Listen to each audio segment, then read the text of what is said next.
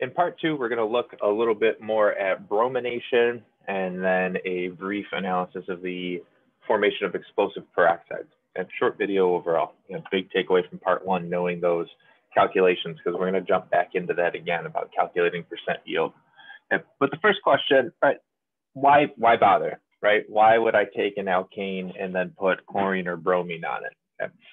Well, doing that, if you halogenate an alkane, you can then have a good leaving group, right? We take something that was pretty much non-reactive to begin with, okay? We can only react it with a radical mechanism.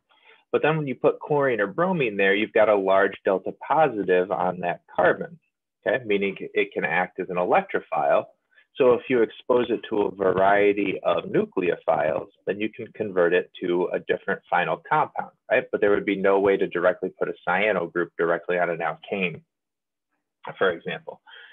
Uh, this situation with cyclopentane would be great because all of the hydrogens are identical, okay? But it's not the best method if you're trying to be selective. If you need to control what carbon that chlorine's going on, for example, you could do something like the addition of HCl to an alkene. That would be much better in terms of selectivity, unless you have a carbocation rearrangement to worry about. But if all you have is an alkane, this is really the only way we have to react it if we want to use another nucleophile later on. Right? Put chlorine or bromine on first. So back into that world of chlorination and bromination, okay? If we're adding bromine, look at these relative rates of bromination for tertiary, secondary, and primary. Again, primary is already always going to be set to a relative reactivity of one, but for a chlorination, we had one to 3.8 to five. And look at this, one to 82 to 1600 when we're dealing with bromine instead of chlorine. Okay, these are specifically at 125C.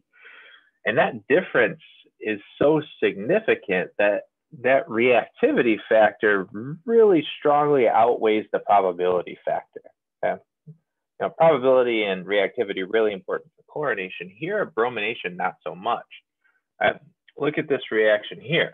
And instead of the 71 that split that we saw before, 71-29 with chlorine, here taking butane and bromine at 98 to 2. So you see that that reactivity really outweighs the probability. Okay, even though right that primary hydrogen is more probable, we're only getting two percent one bromobutane. Okay, so it's less reactive overall, and that makes it more selective. Let's talk about that a little bit further. Bromine's less reactive and more selective. Okay, which holds for all things. We'll see in just a slide. Yep. Let's look at some bond energetics. Okay. Looking at these chlorine initiation steps. Oh, sorry, these are chlorine propagation steps. Chlorine radical plus your alkene, alkane, right, forming another radical. Every one of those is an exothermic reaction. Yep. We can see that from the energetics over here. Bond broken minus the energy of the bond being formed. Negative delta H means it's exothermic every one of our chlorinations in that situation is exothermic. And if it's exothermic, uh, the Hammond postulate tells us that the transition state looks like the reactants. So there's a small difference in the activation energy going from reactants to transition state. Now for the bromination, the opposite is true. These are endothermic reactions, so the transition state looks like the products larger difference in activation energy. And we can see that by looking at the reaction coordinate diagrams as well. Here for our chlorine, right, it's exothermic. In here for our bromine, it's endothermic. So with a greater energy difference there, right, it's harder to overcome. Right? And we want to make it easier for these things to get there. So we know what that's why Any of the tertiary are more stable because it's got a smaller act. Oh, sorry, I jumped ahead a slide. Smaller activation energy overall, be it endothermic or exothermic.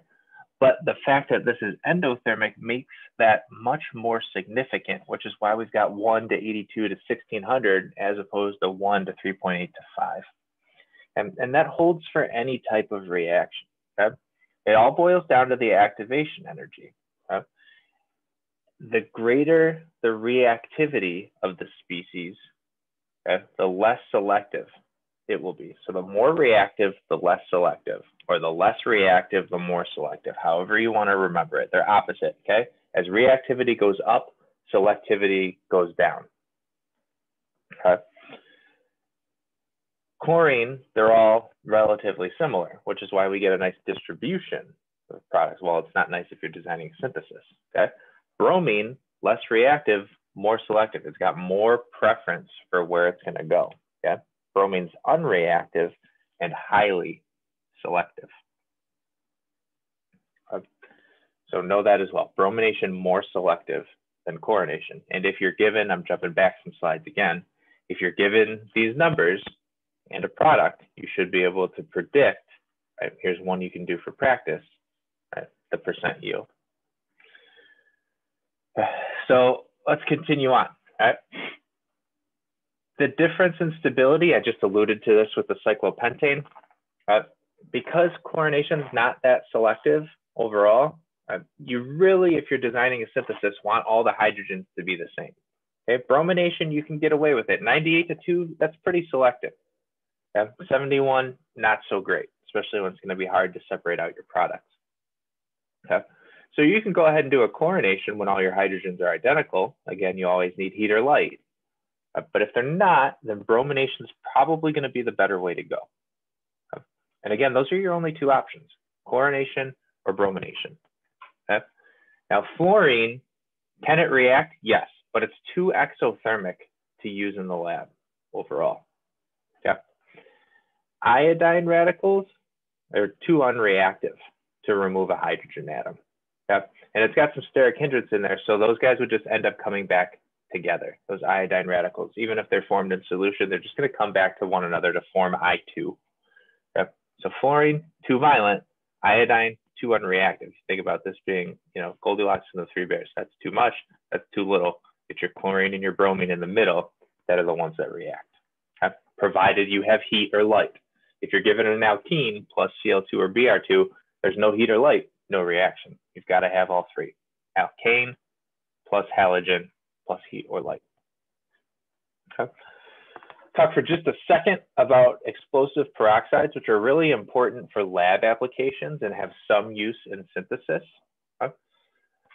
And we'll talk about this a little bit later in the semester, like the role of these peroxides. And you see these a lot when ethers are exposed to oxygen in air which is a good thing for those of you that'll continue on in chemistry. You ever see a bottle of ether and it's got white crystals on the cap where it's been possibly exposed? Don't open it. Chances are that thing is explosive. So how do these things actually form? Uh, as mentioned, ethers, when they expose, get exposed to light and some oxygen. The reason that these guys form uh, is that we've got peroxides okay, compounds with OO bonds. That oxygen-oxygen bond isn't exceptionally stable. It's really easy, easy to cleave that bond in a homolytic fashion where each one of the oxygens gets one electron. Right? Then you've formed a radical. It was an initiation reaction that can start off a chain reaction that can, can potentially be explosive. Okay? And then this is exactly how it happens. Okay? You've got your radical in solution with an ether, it's going to react with one of the alpha carbons on your ether. And then that reacts with your peroxide radical there uh, to form your product that's going to pick up another hydrogen to get to the peroxide itself. Uh, so that can be a radical chain reaction. Uh, list of the steps right here.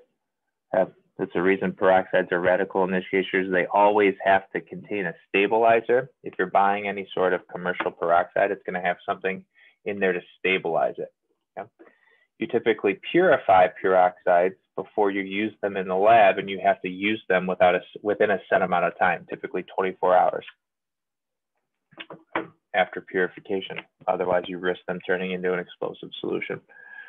Not as concerned with the mechanism here, more just the fact that you're aware that they exist.